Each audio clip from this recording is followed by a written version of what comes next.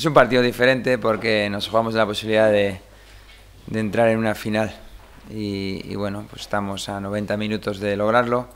Cierto es que con un marcador adverso y contra un rival de primerísimo nivel, pero bueno, la ilusión es lo último que se pierde. No vamos a ir a tumba abierta. Tenemos experiencias recientes que creo que nos ayudan a pensar de esa manera, como puede ser eh, la más reciente, el Manchester City. Intentaremos establecer una línea defensiva de estar muy, muy ordenados, muy solidarios, muy juntos.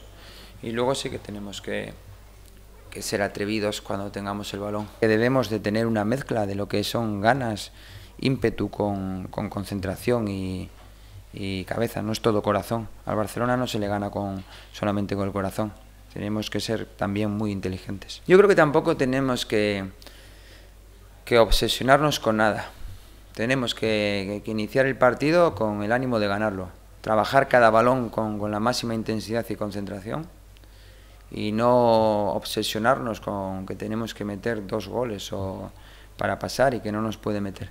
Plantarte una final de Copa del Rey eliminando al Barça sería ese sueño que yo creo que todos los profesionales alguna vez pensamos o estamos ahí cuando estamos así en la cama sin pensar en nada y dices, oh, ¿cómo sería feliz? A, nivel profesional, pues dices, así.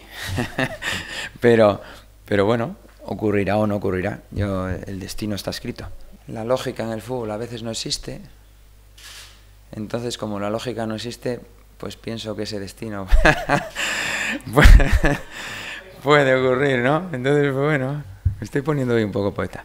No solamente sería una satisfacción para nosotros los profesionales, sería para, para toda la gente del club que, bueno, pues ya en más de una ocasión quedó en puertas de, de, una final, el Presi, que yo creo que, entonces sí que, sería, si no el hombre más feliz del mundo casi, y bueno, y toda la afición.